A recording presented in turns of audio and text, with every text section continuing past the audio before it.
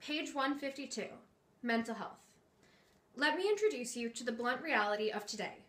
Mental illness is extremely common, and many people are struggling on a daily basis with depression, anxiety, eating disorders, and more.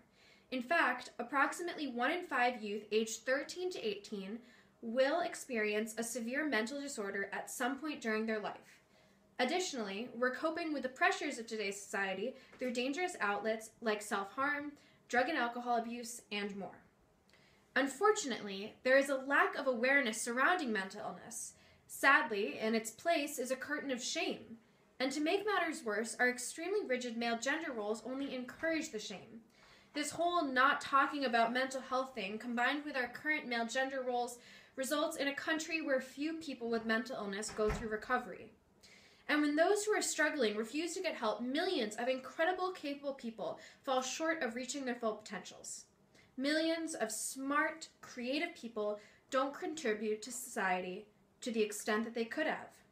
With each suicide and each death by anorexia, the world loses someone who could have been a game changer. The world loses someone who could have found the cure to cancer, someone who could have been the next Oprah or Steve Jobs, or someone who could have solved world hunger. When we fail to get help, the world suffers as a natural consequence. Today, I am going to talk to you all about mental illness. I aim to break the silence and shame, and I hope that you will leave a bit more informed than you were before. Furthermore, this is a very basic chapter. I hope you recognize it to be the start of a conversation on mental illness, certainly not the end, as there is much more to be said.